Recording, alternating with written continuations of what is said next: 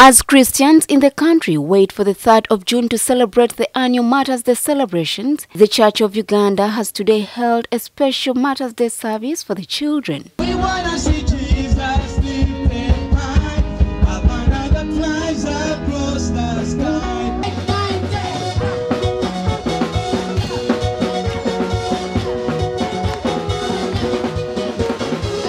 The celebrations attracted over 2,000 children from various dioceses across the country. We are overwhelmed by the turn up. We anticipated a smaller number, but we have gotten more than what we budgeted for. So we give glory to God. These celebrations began with a two kilometer walk through Namugongo with the aim of emulating the Uganda Martyrs journey of faith, as Reverend Esau Bosa Kimanje, the principal of the Church of Uganda Martyrs Grounds, explained.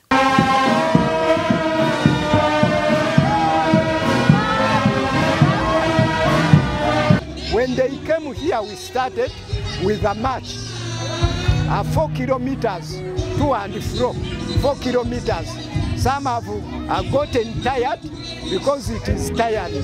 According to Reverend Kimanje, they had organized the special session for the younger Christians. He urged them to live a prayerful life and emulate the Uganda martyrs who loved God wholeheartedly. And our message to, to the children is they should love God.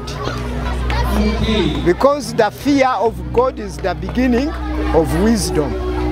The fear it does not mean running away, but we mean they are supposed to respect God, obey Him, do what He requires them what to do. We have well trained teachers, we have sessions, Bible sessions that really relate to the lives of these young people in a way that we connect to them. So that's why we arrange this special pro- program so that we, we give them the best. Some of the children shared their understanding about the Uganda martyrs. and the Uganda martyrs died for God's sake.